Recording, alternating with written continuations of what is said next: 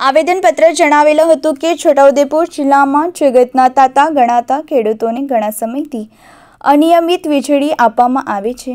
ગુજરાત સરકાર દ્વારા ખેડૂતોને આઠ કલાક વીજળી આપવામાં આવશે તેવું વચન આપ્યું હતું.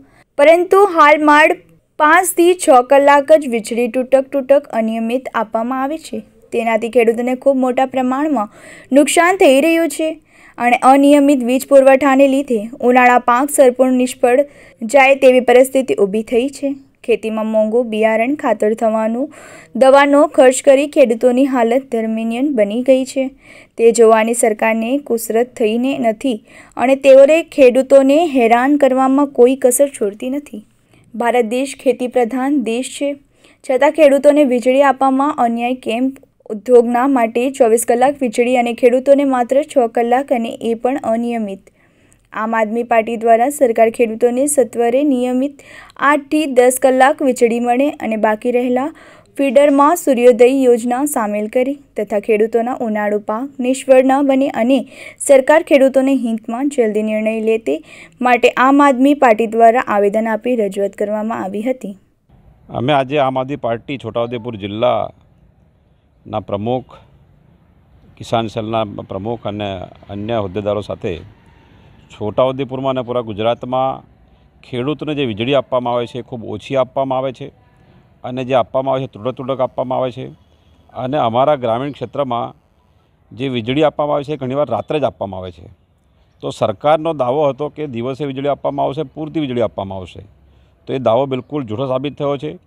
અને અમારી માંગણી છે કે વીજળી આપે, નિયમિત આપે, દિવસે આપે, જેથી અત્યારે જે પાક છે, એ પાક નિષ્ફળ ના જાય. અત્યારે ખેડૂતોની સ્થિતિ ખૂબ ખરાબ છે.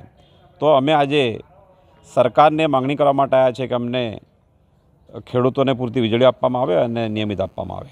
હું પ્રોફેસર અર્જુન રાઠવા, આમ આદમી પાર્ટી પ્રદેશ ઉપાધ્યક્ષ. આજ રોજ આમ આદમી પાર્ટી દ્વારા અમારા પ્રદેશ ઉપાધ્યક્ષ શ્રી અર્જુનભાઈ, પક્ષના પ્રમુખ શ્રી ડીએન રાજપૂત અને અન્ય જિલ્લાના ખેડૂત આગેવાનો સરકાર જે અત્યારે વીજળી ખેડૂતોને આપી રહી છે, તૂટક તૂટક અને તેમાં છ કલાક વીજળી આપે છે. એ ખેડૂતોને વીજ પુરવઠો પૂરતો મળતો નથી, એટલે એમાં ખેડૂતોને પારાવાર નુકસાન થઈ રહ્યું છે ખેતીમાં અત્યારે, ઉનાળુ પાકની અંદર.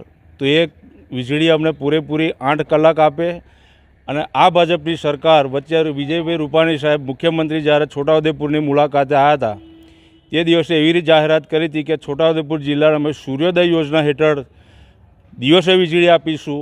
એ વાયદો એમનો ખોટો સાબિત થઈ રહ્યો છે અત્યારના સમયમાં. અને આવનારા દિવસોમાં પણ જો વીજળી નહીં સુધારે તો ખેડૂતોના આક્રમક પગલાં લેવા પડશે. અને હવે ખેડૂતો ગાંધી ચીધા માર્ગે આંદોલન નહીં કરે, એના માટે શહીદ ભગતસિંહના માર્ગે ચાલવું પડશે ખેડૂતોને. એવા દિવસો ખેડૂતોના ના આવે એના માટે સરકારે અત્યારે ખેડૂતોની આ વાત સાંભળી અને વીજળી પૂરી આપવાની જવાબદારી છે. હું નરેન્દ્ર પટેલ, આમ આદમી પાર્ટી ખેડૂત સેલ, છોટાઉદેપુર. રિપોર્ટર રેહાન પટેલ, છોટાઉદેપુર.